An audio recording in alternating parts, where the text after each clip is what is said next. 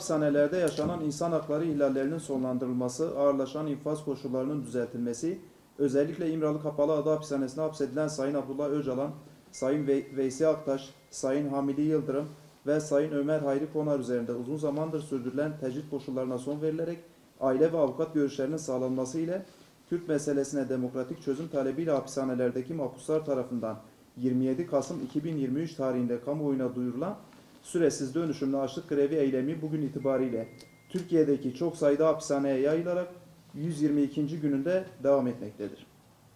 Türkiye hapishanelerinde açlık grevlerinin başlamasından sonra Van ilinde bulunan insan haklarına duyarlı STK ve kurumlar olarak açlık grevleri izleme ve takip koordinasyonu kurularak Şubat ayında hapishaneler ziyaret edilmiş ve rapor hazırlanmıştır.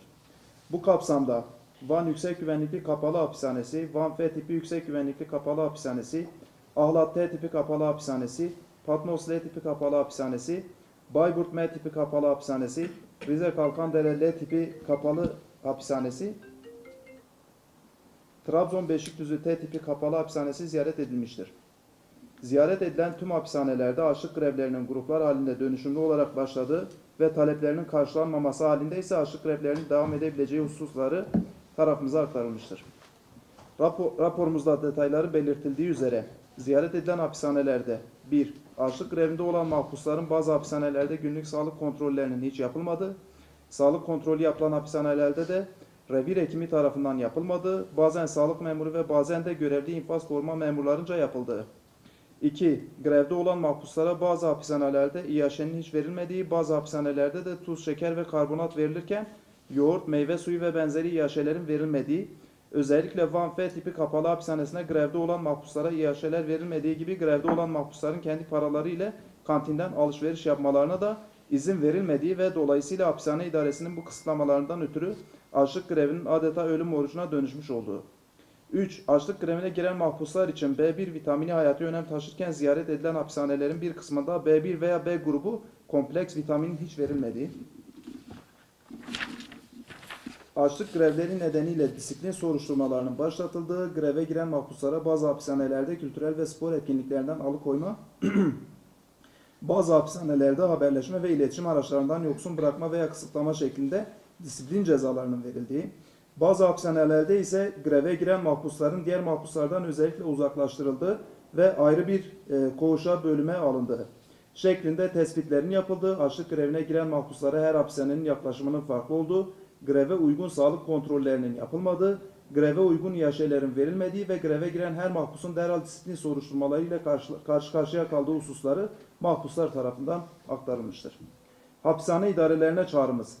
Hapishane hekimince açlık grevine giren her bir mahpus için sağlık dosyası oluşturulmalı ve günlük sağlık kontrolleri yapılarak dosyalarına işlenmelidir.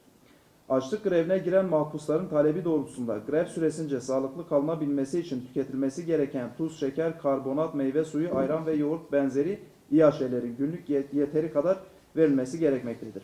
Ayrıca süresiz dönüşümlü açlık grevini sonlandıran mahpuslara grev sonrası mahpusun sağlığını olumsuz etkilemeyecek yiyecek ve içecekler verilmelidir.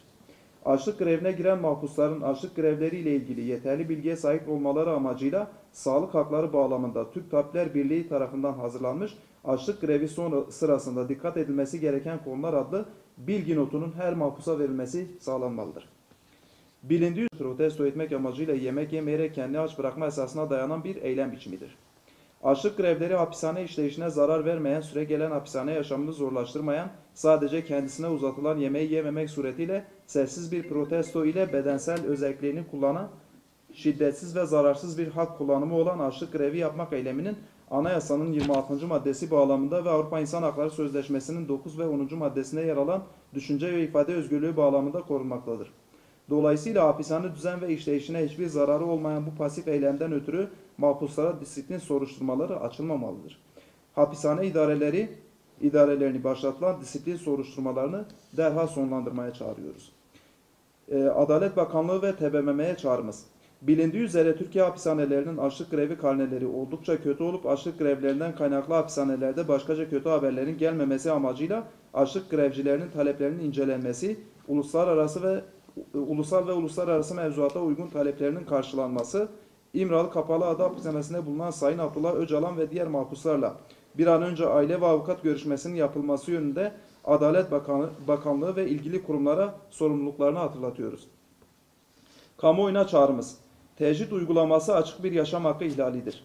İmralı Kapalı Ada Hapishanesi'nde bulunan mahpuslar da Türkiye'nin diğer hapishanelerinde bulunan mahpuslarla aynı haklara sahip oldukları kişiye özel uygulamaların olamayacağı ve dolayısıyla talep edilen hususun yasal mevzuata açıkça aykırı olan tecrit uygulamasının kaldırılması olduğu açıktır.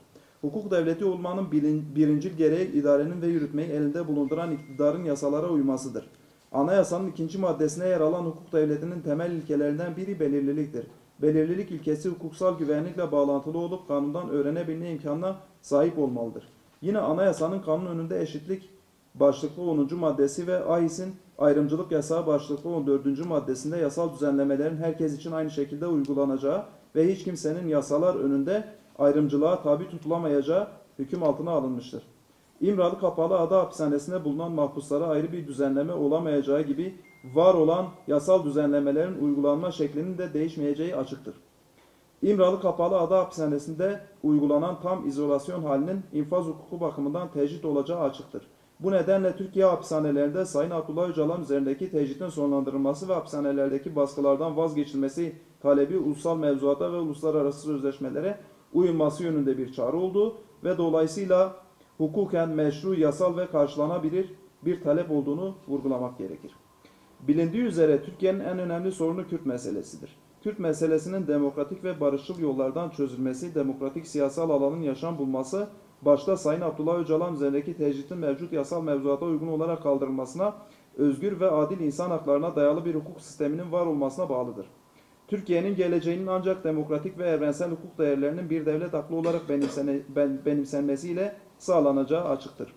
İnsan hakları alanında çalışma yürüten STK'lar olarak başta açlık grevinde olan mahpusların yaşam hakkının korunması ve açlık grevinin sonlandırılması amacıyla makul ve yasal mevzuata uygun taleplerinin kabulüyle tecritin kaldırılmasına, hapishanelerde yaşanan hak ihlallerinin son bulması amacıyla başta Adalet Bakanlığı olmak üzere tüm ulusal ve uluslararası kamuoyu ve kurumları derhal harekete geçmeye ve duyarlı olmaya çağırıyoruz.